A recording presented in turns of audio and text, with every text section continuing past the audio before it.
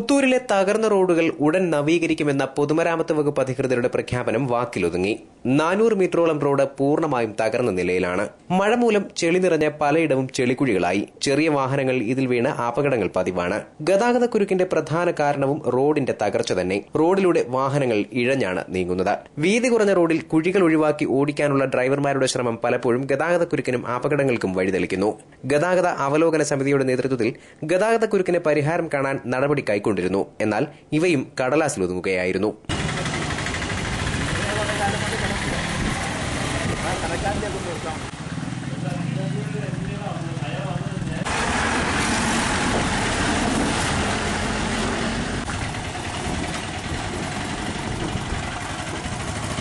News bureau Kottarakkara.